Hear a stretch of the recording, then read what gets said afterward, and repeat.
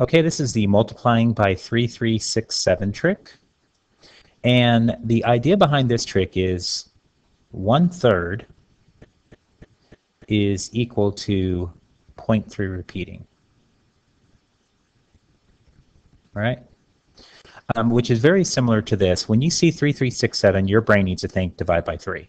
Okay? So what you're going to do is you're going to divide the non-3367 number by 3, and you get 4.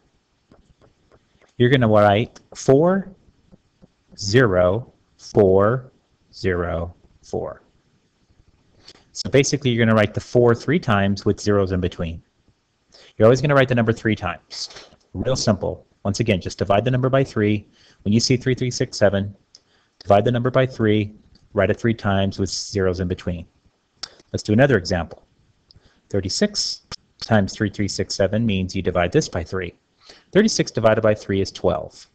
Now, when it's a two-digit number, you just write it three times without the zero in between. So you would write 12, 12, 12. Very easy trick, um, but hard to remember that 3367 is, is very similar to one-third. Good luck with the trick.